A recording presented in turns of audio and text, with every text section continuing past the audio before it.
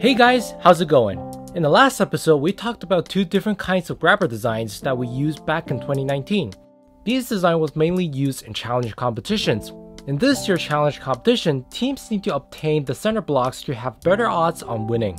In this episode, let's talk about 4-bar mechanisms, which is the linking mechanism between the claws and the robot.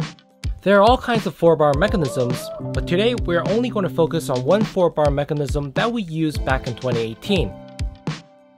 During 2018 competition, we used a 4-bar mechanism to pick up pins from the middle and place them at the top of the cargo bay. After some testing, we decided to add one extra claw to the robot, doubling the efficiency. And the design also helped with repositioning the pins from the bottom to the top.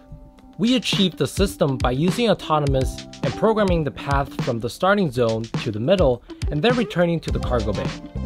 Throughout the autonomous period, we have faced many challenges such as robot position accuracy, path differences, and pin variation which you might heard me talking about it in my third episode. Later on, in 2019, we improved these problems by adding distance sensors to the robot and improving the codes by using encoders. In this design, we can see that by simply adding a motor with a gear reduction might not be enough to lift the claw design when loaded with cargo.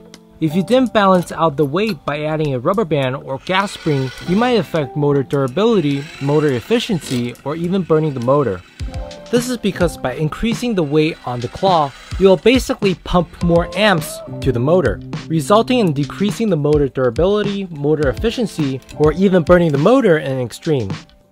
As I have mentioned, if you add a rubber band to the arm, it will counterbalance the mechanism, reducing the load on the motor and you can do so by simply tightening the rubber band to the 4-bar mechanism and the frame. And also if you want to keep the claw in position on the top or at the bottom, you can add an idling speed to the mechanism when the claw travels to the top or to the bottom. This way the claw position will not be affected by the movement of the robot.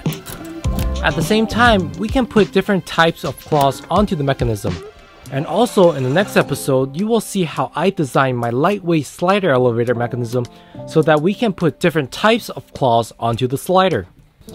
And with seven rubber bands,